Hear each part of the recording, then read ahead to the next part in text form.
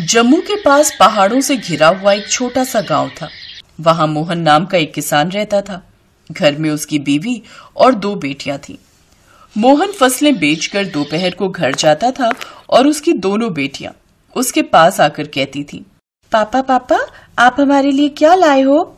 Chocolate लाए हो ना? नहीं बेटी बस एक कद्दू लाया हूँ। कद्दू? कद्दू से क्या होगा? हमें तो चॉकलेट खाना है। चॉकलेट से पेट थोड़ी भरेगा बेटी। आज चावल के साथ कद्दू की सब्ज़ी खाएँगे। नहीं मुझे कद्दू की सब्ज़ी नहीं खानी। ये बोलकर दोनों बच्ची चली गई। मालती ने मोहन से कहा बच्ची है ना? धीरे धीरे समझ जाएँगी। मैं इतना गरीब क्यों हूँ मालती? मैं अपनी बेटियों को दो चॉकलेट भी नहीं ला के दे सकता। मैं कितना बुरा बाप हूँ ना? नहीं जी आप बहुत अच्छे पिता हो। देखना वैष्णो माता हमारी सारी परेशानी दूर कर देंगी। जय वैष्णो देवी की। मोहन नहा धोकर वैष्णो देवी की पूजा में बैठ गया। माते आपको तो सब कुछ पता ही है। ये गरीबी जाती ही नहीं है। बस मेरी दो बेटियों को मैं ज़िंदगी भर खुश देखना चाहता हूँ। आशीर्वाद दीजिए देवी माँ। जय वैष्णो देवी की। ऐसे ही उसकी ज़िंदगी बीत रही थी। लेकिन एक दिन गाँव के बाहर एक सुपरमार्केट खुल गया सभी गाँव वाले गाँव का बाज़ार छोड़कर सुपरमार्केट में ही अनाज खरीदने के लिए जाने लगे और मोहन के गाँव के बाकी सभी किसान अपना अनाज उसी सुपरमार्केट में बेचने लगे। लेकिन मोहन ने ऐसा नहीं किया। अरे भाई, क्यों बेच रहे हो? उन लालची लोगों को अनाज, है? अरे अच्छा खासा पैसा मिल रहा है मोहन भाई, है? अरे तुम भी बेचो और ढेर सारा मुनाफा कमाओ। वो हमें बुद्धू बना रहे हैं भाई। अभी वो हमसे महँगा अनाज खरीद के लोगों को सस्ते में बेच रहा है। लेकिन जब सभी सुपरमार्केट ही जाने लगेंगे तब वो हमसे बहुत कम दाम में अनाज खरीदेंगे और हमें तब उन्हें ही बेचना पड़ेगा। है? वो क्यों? क्योंकि तब लोग गाँव के बाज़ार में आना बंद कर देंगे। ए, तुम जो भी बोलो मोहन भाई तब का तब देखा जाएगा। अभी फ़ायदा हो रहा है क्यों ना बेचू वहाँ? मोहन को जो बात समझ में आ गई वो बाकी किसान नहीं समझ पा रहे थे। पापा आज आटा लाए हो ना? आ, नहीं बेटी आज नहीं ला पाया। कल पक्का लाऊँगा। मोहन पूजा में बैठकर रोने लगा। हे वैष्णो माते ऐसा क्यों हो रहा है मेरे साथ? मैंने कुछ गलत तो नहीं किया तो फिर क्यों मुझे और मेरे परिवार को भूखा रहना पड़ रहा है? तभी मोहन के घर के बाहर सुपरमार्केट का मालिक रमाकांत सेठ आए। मोहन? अरे ओ मोहन बाहर आ।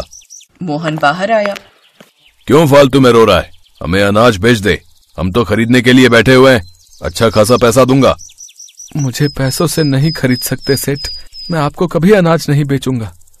क्यों फालतू में जिद कर रहा है हैं? एक तू ही है जो हमें अनाज नहीं बेच रहा है। बाकी सब तो मज़े कर रहे हैं हमसे दोस्ती करके। आप दोस्त नहीं दुश्मन हो। बहुत जल्द आप हमारे पेट पर लात मारोगे। अच्छा तो तू हमें अनाज नहीं बेचेगा। नहीं कभी नहीं। ठीक है मैं भी देखता हूँ कि तू उस बाज़ार में कब तक अनाज बेच पाता है। ये बोलकर रमाकांत चला गया। अगले दिन मोहन बाज़ार में अनाज लेकर गया। एक दो लोगों ने आकर मिर्ची वगैरह खरीदी। और भी सब्ज़ी लो ना साहब। साग है टमाटर है। नहीं नहीं सुपरमार्केट में बहुत कम दाम में मिल रहा है ये सब। ये बोलकर वो आदमी चला गया। तभी वहाँ एक बूढ़ी औरत आई। बेटा मुझे साग चाहिए। तेरे पास है ना? आ, हाँ माँ जी ताज़ा साग है।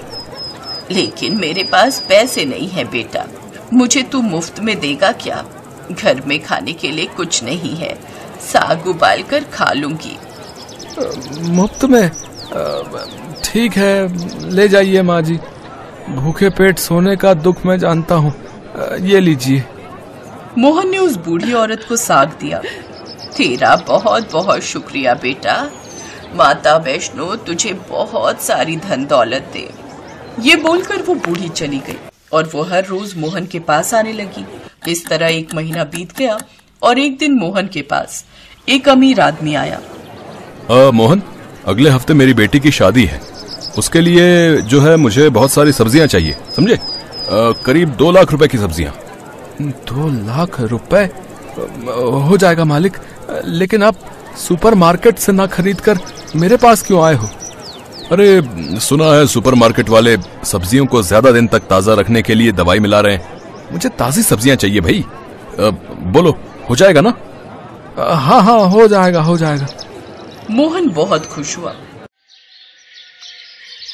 बस एक हफ़्ते बाद मुझे बहुत सारा पैसा मिलेगा। फिर मैं तुम लोगों के लिए चॉकलेट लाऊँगा हाँ। मोहन की बेटियाँ भी बहुत खुश हुई लेकिन ये बात रमाकांत सेठ के कानों में पहुँच गई।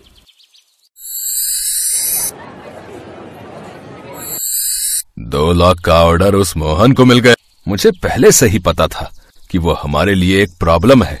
अब समय आ गया है उसे रास्ते से हटाने का। शादी वाले दिन दो लाख की सब्ज़ी मेरे सुपरमार्केट से ही खरीदी जाएगी।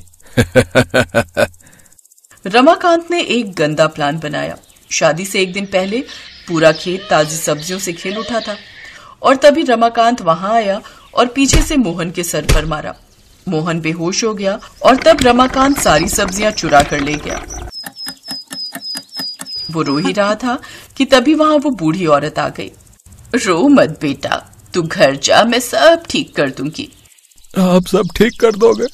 कैसे? कहा ना, तुझे चिंता करने की ज़रूरत नहीं है। तूने मेरी मदद की थी, अब मैं तेरी मदद करूँगी।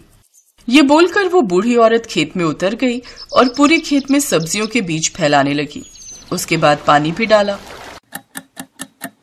मोहन घर चलाया अगले दिन सुबह सुबह वो अमीर आदमी पैसे लेकर चलाया उस आदमी को लेकर मोहन खेत में गया। देखा सच में वहाँ सब्ज़ियाँ ही सब्ज़ियाँ हैं। ताजी सब्ज़ियाँ देखकर उस अमीर आदमी ने मोहन को दो लाख के बदले ढाई लाख रुपए दिए। उस आदमी के जाने के बाद ही वहाँ वो बूढ़ी औरत आ गई। क्यों? कहा था ना। आप कोई साधारण इंसान नहीं हो। आप कौन हो? तभी वो बूढ़ी औरत माता वैष्णो में बदल गई और बोली वत्स तुझसे मैं प्रसन्न हूँ। इसीलिए मैंने तेरी मदद की। तू चिंता मत कर, वत्स। बुरी शक्तियों का नाश करना ही मेरा काम है। बाज़ार में फिर से लोग आएँगे। तुझे कभी भी किसी भी चीज़ की कमी नहीं होगी। तथास्तु। माता वैष्णो अदृश्य हो गई।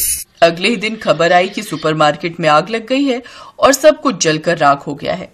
गाँव के बाज़ार में फिर से लोग आने लगे और माता वैष्णो की कृपा से खुशी खुशी जीने लगा।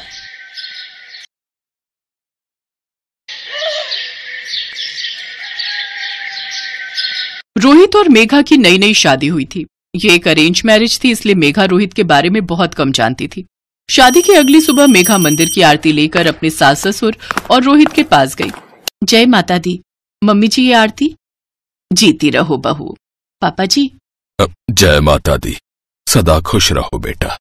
सुनिए ये आरती तो लेते जाइए। मेघा मैं भगवान पर विश्वास नहीं रखता। ये आरती वगैरह? आज के बाद मुझे मत देना। समझ गई?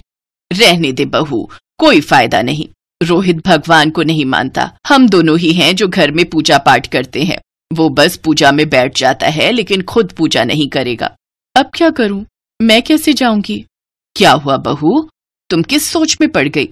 वो, मम्मी जी, मैंने मन्नत ली थी कि शादी के बाद मैं वैष्णो देवी की यात्रा पर जाऊँगी, पर अब कैसे होगा? रोहित तो चिंता मत करो बहू। रोहित तुम्हारे साथ वैष्णो देवी यात्रा पर ज़रूर जाएगा।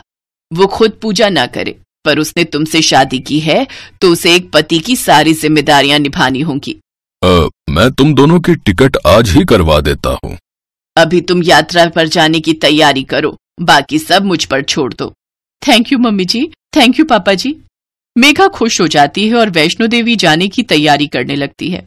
रोहित का मन नहीं था कि वो वैष्णो देवी यात्रा पर जाए पर मेघा और मम्मी पापा के कहने पर वो साथ जाने के लिए तैयार हो जाता है। दोनों कटरा पहुँचते हैं। एक रूम लेकर वहाँ सामान रखकर वो यात्रा के लिए निकलते हैं। आपको पता है रोहित, मैं जब बहुत छोटी थी तो मम्मी पापा के साथ वैष्णो देवी यात्रा पर आई थी।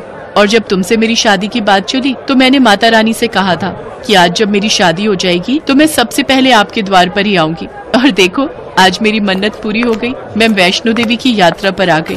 Thank you Rohit. हाँ आना तो था ही। अब तुमसे शादी जो हुई है, पर कुछ भी कहो मेगा मैं भगवान को नहीं मानता। मुझे लगता नहीं कि भगवान है। देखो, हम दोनों बेकार में थके हुए यहाँ हैं। इतनी लंबी चढ़ाई करेंगे, वो भी पैदल। इससे तो अच्छा मैं तुम्हें कहीं अच्छे हिल स्टेशन पर ले चलता। पता है वहाँ कितना मज़ा आता। क्या तुम बेकार में यहाँ थकने के लिए आ गई हो यार? और साथ में मैं भी थक गया हूँ। ना तुम्हें यहाँ का कुछ पता है ना मुझे। हादसा चलना इधर उधर हो गई तो फिर कहाँ ढूंढता रहूँगा? रोहित माता रानी के होते हुए हम पर कोई संकट नहीं आएगा। देखना हम आराम से अपनी यात्रा पूरी करेंगे। हाँ हाँ देखा जाएगा। अभी तो यात्रा शुरू हुई है। देखते हैं रास्ते में क्या होता है। चलो अब चलते हैं। रोहित और मेघा वैष्णो देवी की चढ़ाई शुरू करते हैं। रास्ते में थोड़ी थोड़ी जगह पर रुकते आराम करते वो दोनों आगे बढ़ते रहे। मेघा जय माता दी जय माता दी बोलती जा रही थी। रोहित कुछ मिनटों के लिए वहीं बेंच पर बैठ गया। तभी बहुत सी भीड़ में लोग जय माता दी जय माता दी बोलते हुए आगे बढ़े। मेघा ने सोचा रोहित साथ चलने लगा है। वो भी आनंद के साथ उन लोगों के साथ जयकारा लगाते हुए आगे बढ़ने लगी। रोहित को जब मेघा दिखाई नहीं दी तो वो घबरा गया। मेघा कहा गई? मेघा मेघा कहीं आगे तो नहीं चली गई। थोड़ा आगे जाकर देखता हूँ। रोहित ने मेघा को बहुत ढूंढा पर मेघा उसे कहीं दिखाई नहीं दी। तभी रोहित की नज़र उस भीड़ पर जाती है जो थोड़ी देर पहले रास्ते से गुजरी थी। रोहित उस भीड़ के पास जाता है और मेघा को भीड़ में ढूंढता है पर मेघा उस भीड़ में नहीं थी। भैया मेरी वाइफ आप लोगों के साथ ही आगे चल रही थी। उसने पीले रंग का सूट पहना हुआ है। अब आपने कहीं देखा है?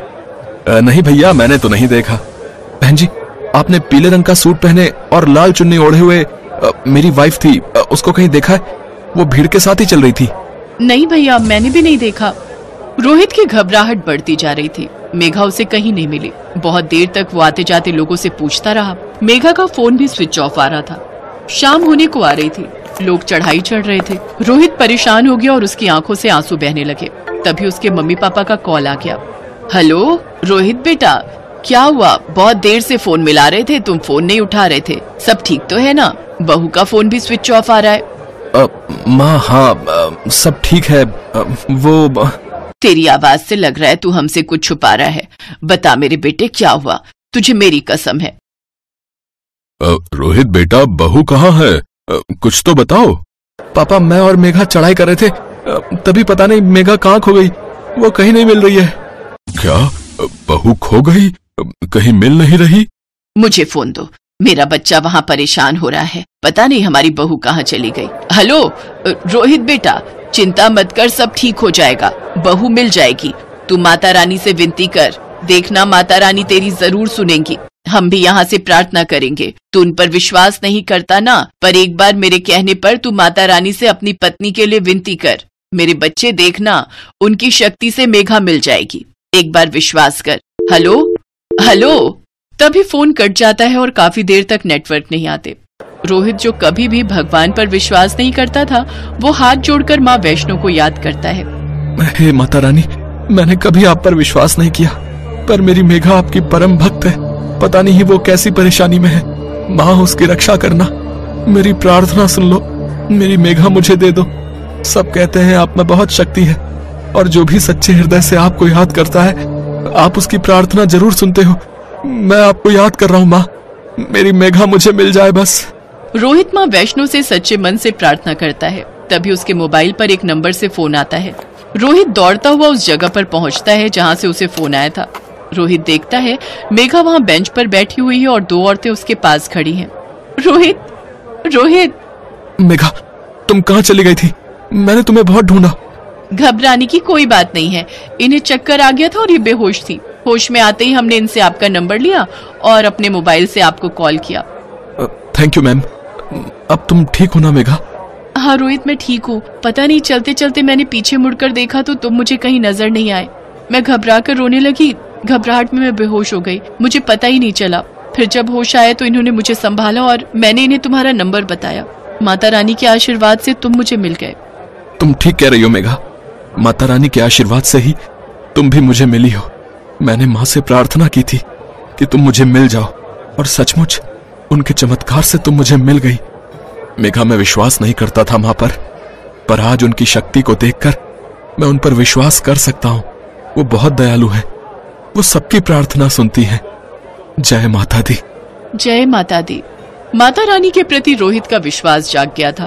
वो दोनों मिलकर भवन पर माता रानी के दर्शन करते हैं और खुशी खुशी यात्रा पूरी करके घर लौटते हैं। अपने बेटा बहू को सही सलामत घर वापस देखकर उनके माता पिता भी बहुत खुश थे। अब रोहित भी अपने परिवार के साथ साथ भगवान की पूजा करता, भगवान के मंदिर जाता। अपने जीवन में आई इन खुशियों के लिए मेघा देवी माँ को धन्यवाद कहती है।